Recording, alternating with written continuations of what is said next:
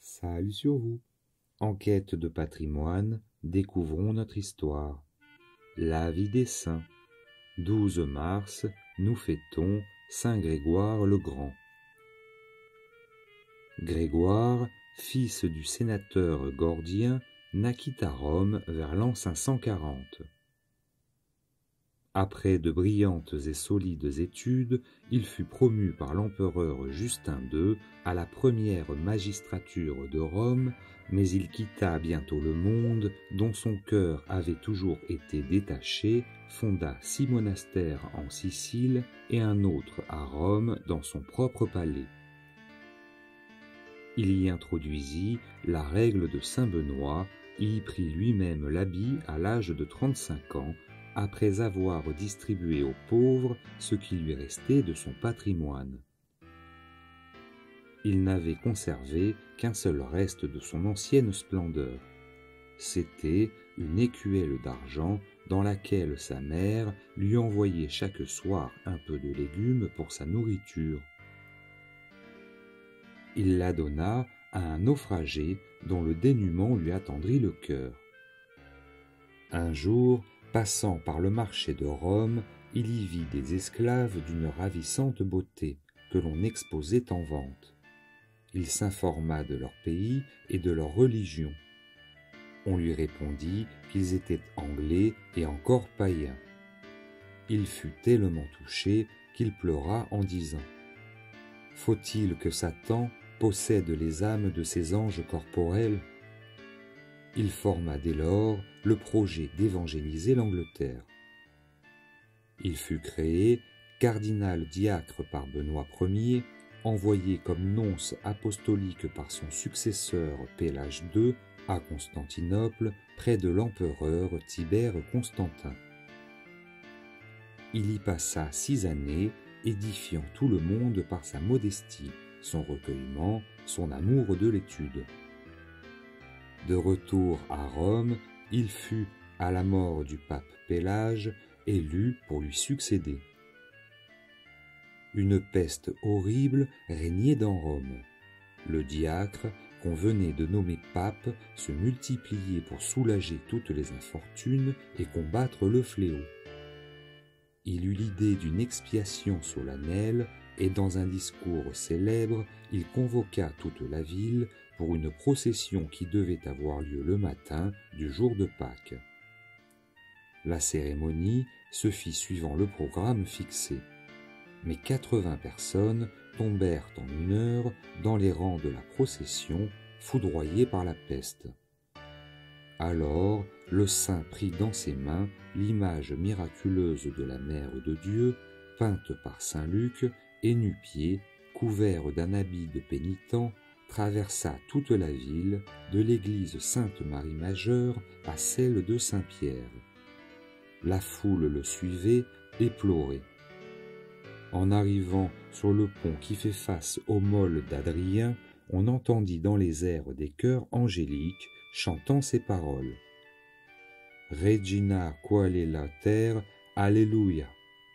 Quamquem meruisti portare, Alleluia resurrexit, sicut dixit, Alléluia. La foule émue s'agenouille.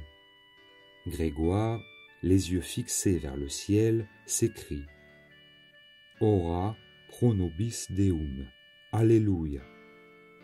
En ce moment, un ange apparut sur la cime du mausolée. Il tenait à la main un glaive nu qu'il rentrait dans le fourreau. Dès lors, la peste ne fit plus une seule victime. 26 mars 590.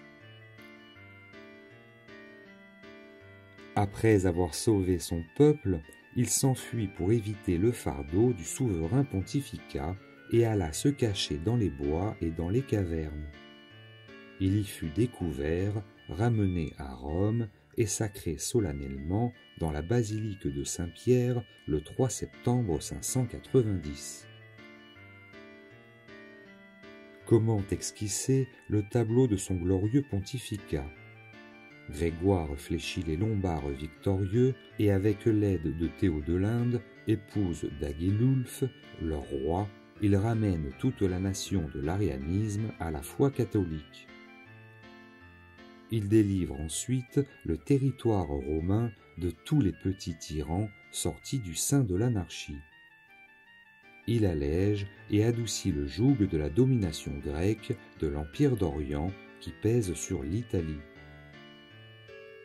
Jean le Jeuneur, patriarche de Constantinople, avait usurpé le titre d'évêque œcuménique ou universel, lui titulaire d'un siège non fondé par les apôtres. Grégoire réprime cet orgueil dans une lettre à l'empereur et le combat surtout par son exemple en prenant le premier parmi les papes dans l'intitulé de ses actes officiels ce beau nom de serviteur des serviteurs de Dieu qui est devenu le titre distinctif de ses successeurs. Il n'oublie pas les peuples barbares qui ont envahi l'Europe. Il se fait leur ami, leur éducateur, pour leur inculquer l'esprit chrétien. Il donne à Childebert, roi des Francs, et à Récarède, roi des Visigoths, d'excellents conseils, les exhortant à des mœurs pures et à un gouvernement tempéré.